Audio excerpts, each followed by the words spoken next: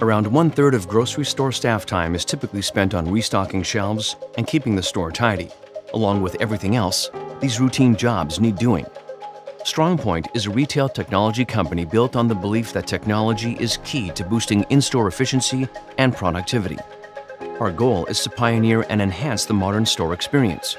After successfully launching several retail innovations, StrongPoint has now partnered with Halodi Robotics and their humanoid retail robot to assist staff with mundane tasks such as restocking and inventory, freeing up human staff to take care of customers.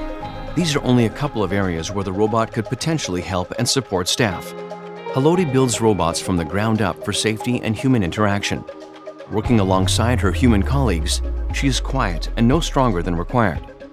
Not long ago, smartphones, electric cars, and drones were all considered science fiction.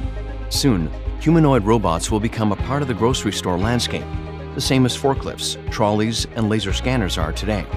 We believe awesome shopping experiences come down to exceptional service by real people, motivated people, who can spend more of their time helping customers. When the store shuts and the staff leaves for the day, our grocery store helper continues working, even in the dark. StrongPoint, retail technology for a smarter and better life.